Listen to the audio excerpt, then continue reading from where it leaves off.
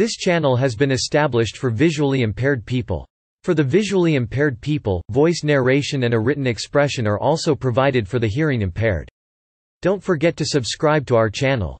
Decisive British victory Destruction of the German East Asia Squadron belligerents.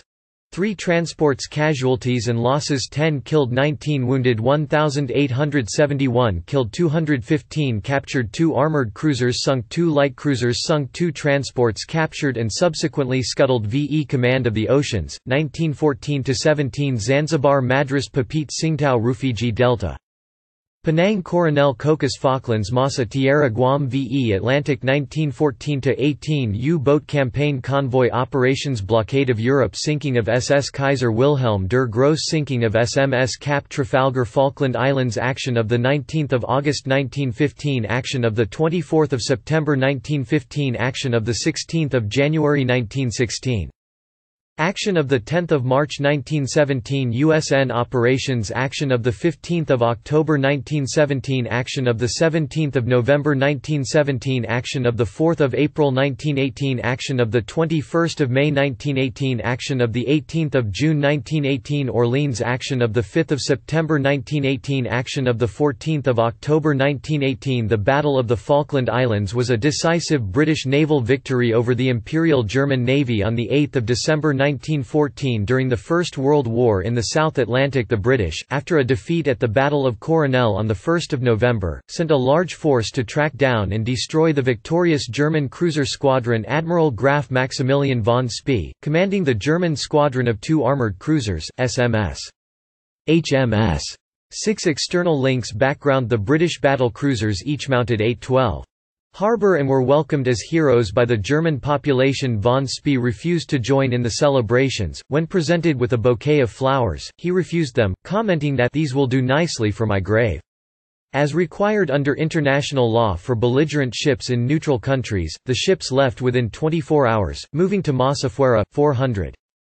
December, the British vessel was scuttled and its crew transferred to the auxiliary Seydlitz the same day Spee proposed to raid the Falkland Islands before setting course for Germany The raid was unnecessary because the squadron now had as much coal as it could carry most of Spee's captains opposed the raid, but he nevertheless decided to proceed British preparations on 30 October. Retired Admiral of the fleet Sir John Fisher was reappointed First Sea Lord to replace Admiral Prince Louis of Battenberg, who had been forced to resign because of public public outcry against a perceived German prince running the British Navy on 3 November, Fisher was advised that Spee had been sighted off Valparaiso and acted to reinforce Cradock by ordering Defence, already sent to patrol the eastern coast of South America, to reinforce his squadron on 4 November. News of the defeat at Coronel arrived as a result. The battlecruisers Invincible and Inflexible were ordered to leave the Grand Fleet and sail to Plymouth for overhaul and preparation for service abroad. Chief of Staff at the Admiralty was Vice Admiral Admiral Doveton Sturdee Fisher had a long-standing disagreement with Sturdee, who had been one of those calling for his earlier dismissal as First Sea Lord in 1911, so he took the opportunity to appoint Sturdee Commander-in-Chief, South Atlantic and Pacific, to command the new squadron from Invincible on the 11th of November. Invincible and Inflexible left Devonport, although repairs to Invincible were incomplete and she sailed with workmen still aboard despite the urgency of the situation and their maximum speed of around 25 knots 46. Britain, reduced to a coal bunker, supplied coal to Invincible and Inflexible the armed merchant cruiser Macedonia was ordered to patrol the harbour, while Kent maintained steam in her boilers, ready to replace Macedonia the next day, 8 December. Spee's fleet arrived in the morning of the same day an unlikely source of intelligence on the movement of the German ships was from Mrs. Muriel Felton, wife of the manager of a sheep station at Fitzroy, and her maids Christina Goss and Marion MacLeod they were alone when Felton received a telephone call from from Port Stanley advising that German ships were approaching the islands the maids took turns riding to the top of a nearby hill to record the movements of the ships, which Felton relayed to Port Stanley by telephone. Her reports allowed Bristol and Macedonia to take up the best positions to intercept the Admiralty. Later presented the women with silver plates and Felton received an OBE for her actions. Battle. This section needs additional citations for verification. Please help improve this article by adding citations to reliable sources. Unsourced material may be challenged and removed December 2014 learned how and when to remove this template message The Battle of the Falkland Islands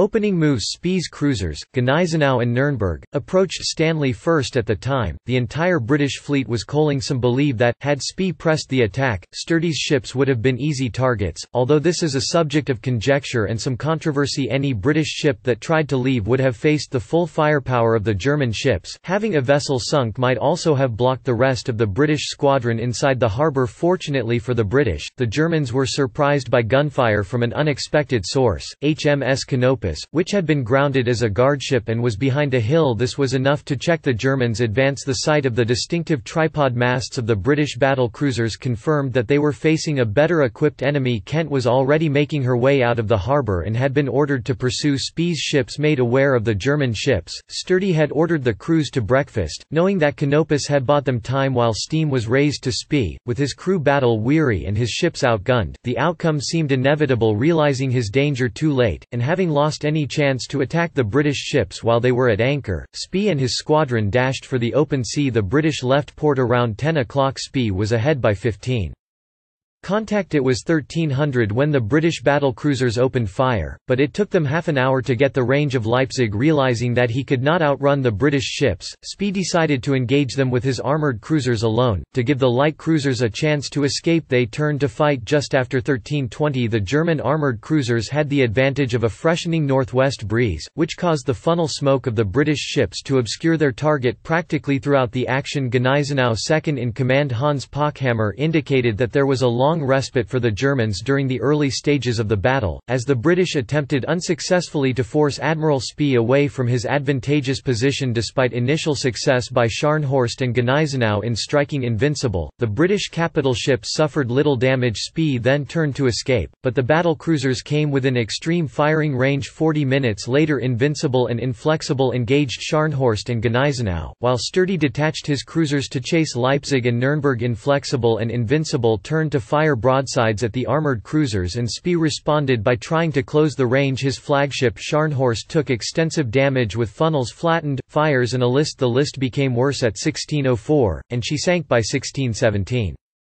Gneisenau continued to fire and evade until 1715, by which time her ammunition had been exhausted, and her crew allowed her to sink at 1802 during her death throes. Admiral Sturdee continued to engage Gneisenau with his two battle cruisers and the cruiser Carnarvon, rather than detaching one of the battle cruisers to hunt down the escaping Dresden 190 of Gneisenau's crew were rescued from the water both of the British battle cruisers had received about 40 hits between them from the German ships, with one crewman killed and four injured meanwhile Meanwhile, Nuremberg and Leipzig had run from the British cruisers. Nürnberg was running at full speed but in need of maintenance, while the crew of the pursuing Kent were pushing her boilers and engines to the limit. Nürnberg finally turned for battle at 1730 Kent had the advantage in shell weight and armour Nürnberg suffered two boiler explosions around 1830, giving the advantage in speed and manoeuvrability to Kent. The German ship then rolled over and sank at 1927 after a long chase. The cruisers Glasgow and Cornwall had chased down Leipzig. Glasgow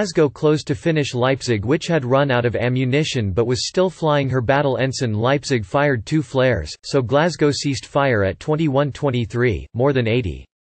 Casualties and damage were extremely disproportionate, the British suffered only very lightly. Admiral Spee and his two sons were among the German dead rescued German survivors, 215 total, became prisoners on the British ships. Most were from the Gneisenau, 9 were from Nuremberg and 18 were from Leipzig Scharnhorst was lost with all hands. One of Gneisenau's officers who lived had been the sole survivor on three different guns but was pulled from the water saying he was a first cousin of the British commander Stoddart of the known German force of eight ships ships, two escaped, the auxiliary Seydlitz and the light cruiser Dresden, which roamed at large for a further three months before her captain was cornered by a British squadron Kent, Glasgow and Orama off the Juan Fernandez Islands on 14 March 1915 after fighting a short battle, Dresden's captain evacuated his ship and scuttled her by detonating the main ammunition magazine as a consequence of the battle. The German East Asia Squadron, Germany's only permanent overseas naval formation, effectively ceased to exist commerce raiding on the high seas by regular warships of the Kaiserliche Marine was brought to an end however, Germany put several armed merchant vessels into service as commerce raiders until the end of the war for example, see Felix von Luckner notes plaque to the eight dead of HMS Kent in Canterbury Cathedral.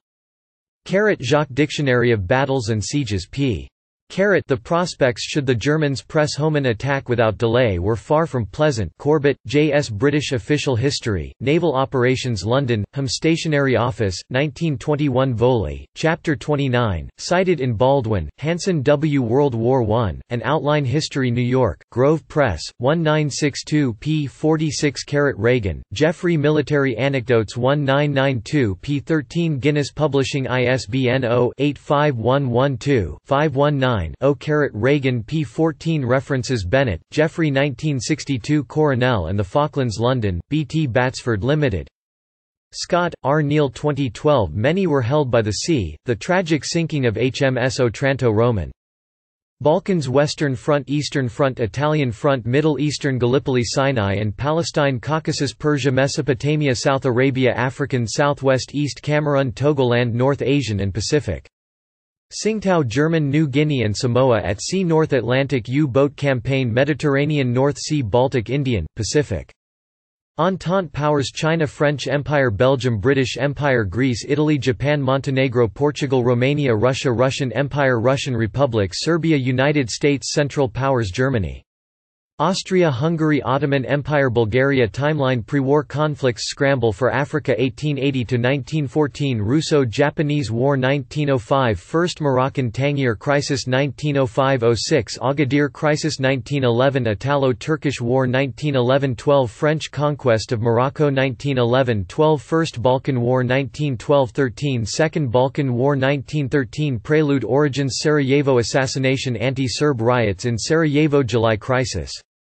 Autumn 1914 Battle of the Frontiers Battle of CER First Battle of the Marne Siege of Tsingtao Battle of Tannenberg Battle of Galicia Battle of the Masurian Lakes Battle of Kolubara Battle of Sarikamish Race to the Sea First Battle of Ypres 1915 Second Battle of the Masurian Lakes Second Battle of Ypres Battle of Gallipoli Second Battle of Artois Battles of the Isonzo Great Retreat Second Battle of Champagne Kosovo Offensive Siege of Kut Battle of Loos 1916 Erzurum Offensive Battle of Verdun Lake Naroch Offensive Battle of Asiago Battle of Jutland Battle of the Somme Brusilov Offensive Baranovichi Offensive Battle of Romani Monastir Offensive Battle of Transylvania 1917 Capture of Baghdad First Battle of Gaza Zimmermann Telegram Second Battle of Arras Kerensky Offensive Third Battle of Ypres Passchendaele Battle of Maricesti Battle of Caporetto Southern Palestine Offensive Battle of Cambrai Armistice of Erzincan 1918 Operation Faustschlag Treaty of Brest-Litovsk Spring Offensive Second Battle of the Marne Battle of Baku Hundred Days Offensive Vardar Offensive Battle of Megiddo Third Transjordan Attack Meuse Argonne Offensive Battle of Vittorio Veneto Battle of Aleppo Armistice of Salonika Armistice of Mudros Armistice of Villa Giusti Armistice with Germany Other conflicts Mexican Revolution 1910–20 Somaliland Campaign 1910–20 Libyan Resistance Movement 1911–43 Maritz Rebellion 1914–15 Zayan War 1914–21 Indo-German Conspiracy 1914–19 Senussi Campaign 1915–16 Volta Bani War 1915–17 Easter Rising 1916 Anglo-Egyptian Darfur Expedition 1916 Kaocen Revolt 1916–17 Russian Revolution 1917 Finnish Civil War 1918 Post-war conflicts Russian Civil War 1917–21 Ukrainian-Soviet War 1917–21 Armenian-Azerbaijani War 1918–20 Georgian-Armenian War 1918 German Revolution 1918–19 Revolution revolutions and interventions in Hungary 1918–20 Hungarian–Romanian War 1918–19 Greater Poland Uprising 1918–19 Estonian War of Independence 1918–20 Latvian War of Independence 1918–20 Lithuanian Wars of Independence 1918–20 Third Anglo-Afghan War 1919 Egyptian Revolution 1919 Polish-Ukrainian War 1918–19 Polish-Soviet War 1919–21 Irish War of Independence 1919–21 Turkish War of Independence Greco-Turkish War 1919–23 Turkish-Armenian War 1920 Iraqi Revolt 1920 Polish-Lithuanian War 1920 Vlora War 1920 Franco-Syrian War 1920 Soviet-Georgian War 1921 Irish Civil War 1922–23 Aspects Opposition Pacifism Anti-war movement. Deployment Schlieffen Plan German Plan 17 French warfare military engagements Naval warfare convoy system Air warfare cryptography Horse use poison gas railways Strategic bombing technology Trench warfare Total war Christmas truce Last surviving veterans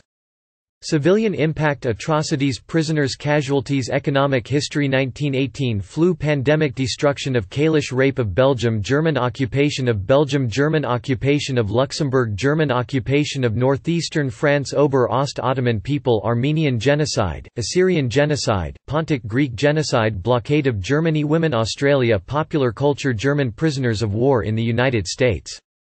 Agreements partitioning of the Ottoman Empire Sykes-Picot Agreement Agreement of Saint-Jean de Maurienne French-Armenian Agreement Damascus Protocol Paris Peace Conference Venizelos-Titoni Agreement Treaties Treaty of Brest-Litovsk Treaty of Lausanne Treaty of London Treaty of Neuilly Treaty of Saint-Germain Treaty of Sèvres Treaty of Trianon Treaty of Versailles Consequences Aftermath 14 points League of Nations World War I Memorials Centenary Commemorations Category Portal World War I at Wiktionary World War I Textbooks at Wikibooks World War I Quotations at Wikiquote World War I Source texts at Wikisource World War I Images